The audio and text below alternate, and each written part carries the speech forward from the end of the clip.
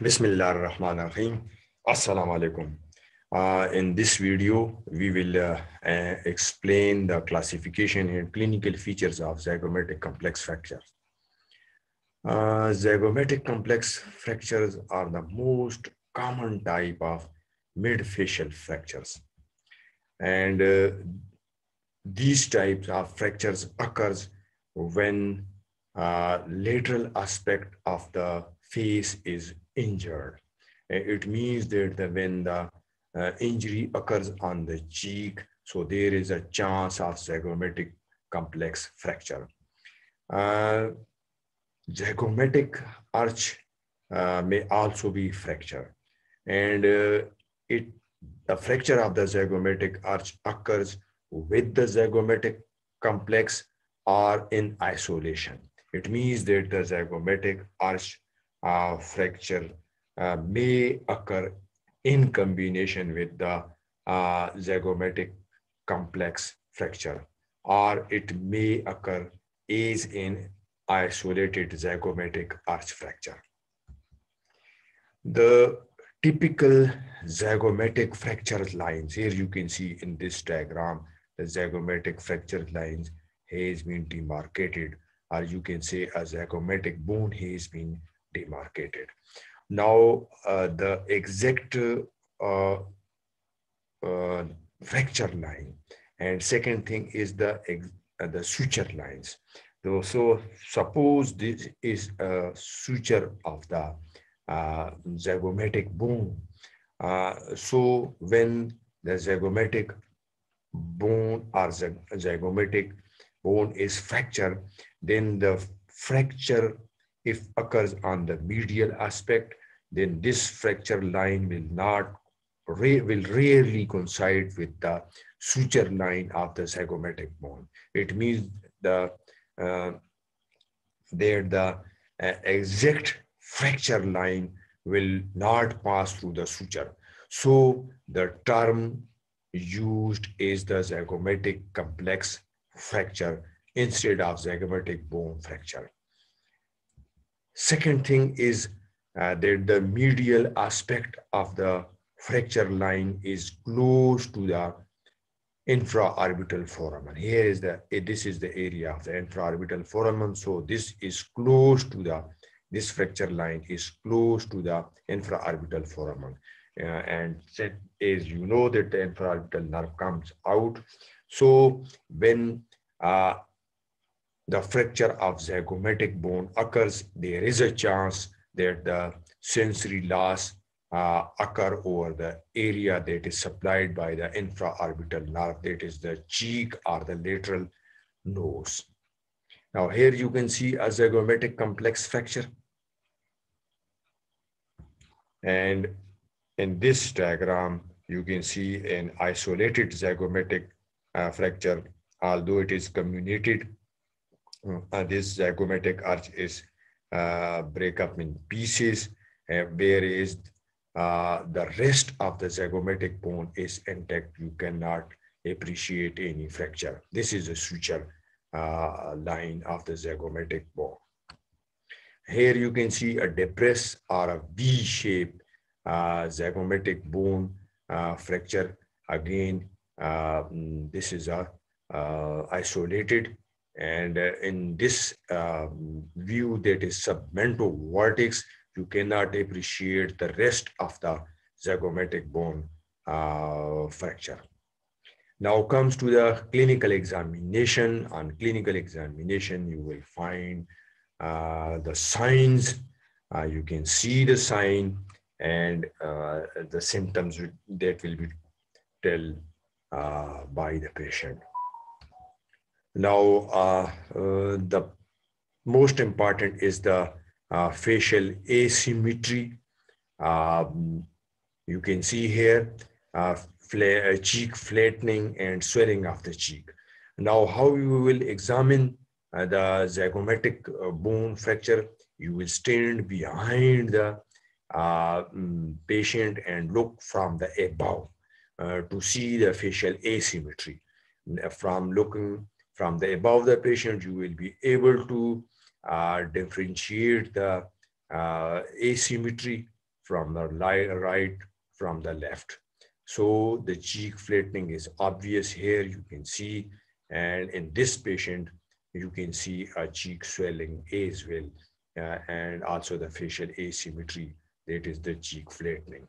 Sometimes the uh, swelling of the cheek, that will um, mask the uh, cheek flattening uh, but with careful observation and a proper examination, uh, that is in the two way by looking uh, from the above while standing behind or looking straight from the front, you will be able to appreciate the cheek flattening as well as the swelling of the cheek. Next is the periorbital ecchymosis. Sometimes the ecchymosis around the orbital area is seen but not appreciated in this patient subconjunctival hemorrhage, you can see here that redness of the eyeball. Here you can see this is a subconjunctival hemorrhage, which is a sign of a zygomatic complex fracture. Uh, and as we discussed that uh, since there is a damage to the branches of the maxillary uh, nerve, so there is a, a numbness, you can see anesthesia or a paresthesia uh, over the area that is uh, supplied by the branch of that particular maxillary uh, nerve. next is the trismus or interference with the mandibular excursion.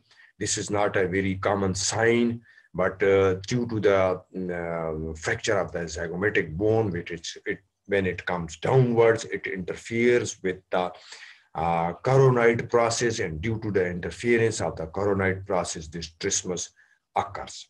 But this trismus is not a muscular uh, uh, um, etiology. Uh, next is the enophthalmos. Uh, that is uh, seen in some fractures of the zygomatic complex.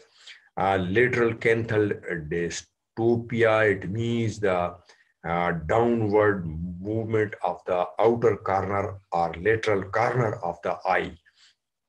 And we will discuss this uh, in the um, video uh, on the clinical features of zygomatic, uh, of the maxillary uh, fractures. limitations of ocular movement occurs and diplopia, that is the double vision.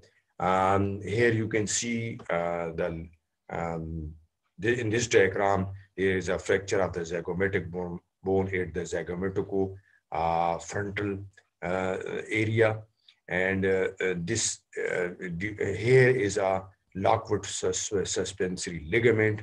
This Lockwood suspensory uh, ligament is also displaced downward along with this bone since it is attached here. we will explain this with the maxillary um, fractures. Here you can see how you will uh, examine the diplopia.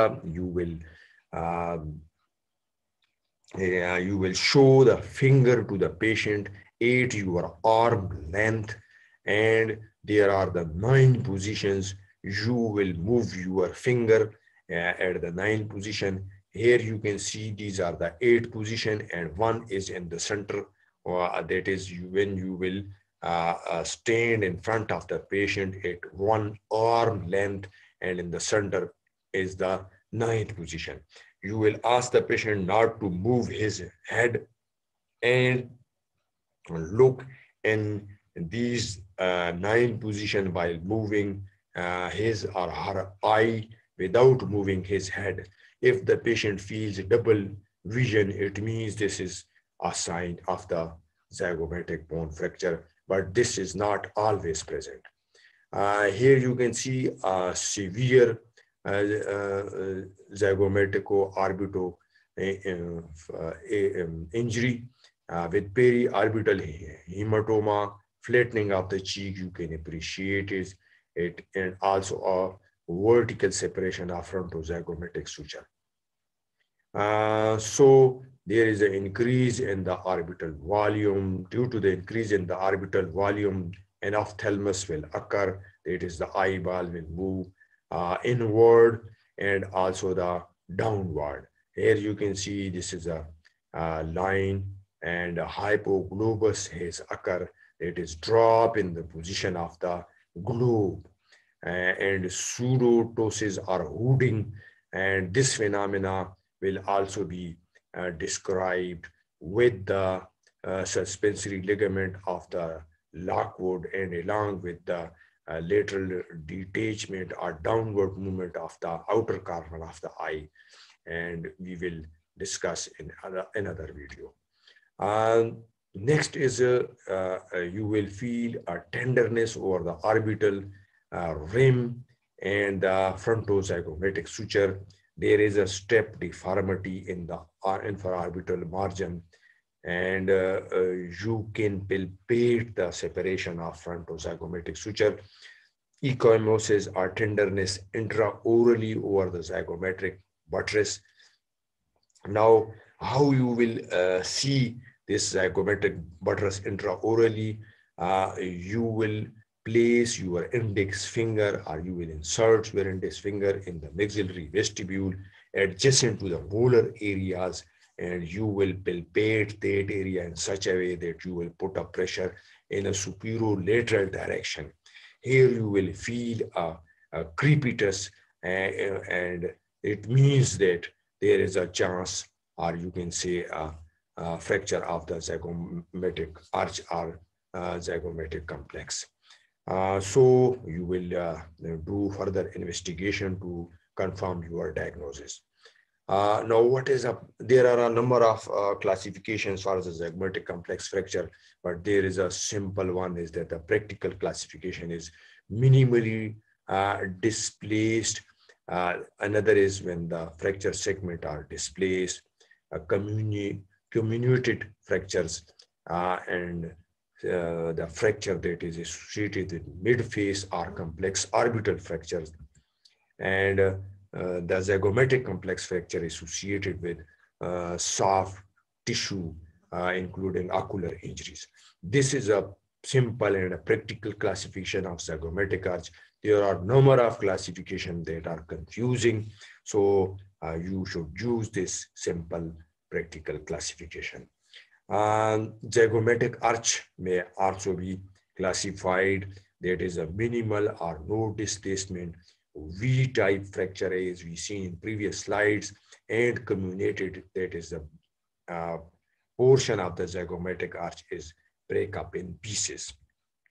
Here you can see a mark indentation of right cheek and this area due to the isolated zygomatic uh, fracture of the zygomatic isolated fracture of the zygomatic arch and in this uh, submental uh, sorry in this uh, um, uh, occipitomental view, you can see here this V-shape uh, uh, depressed fracture of the isolated zygomatic bone. So thank you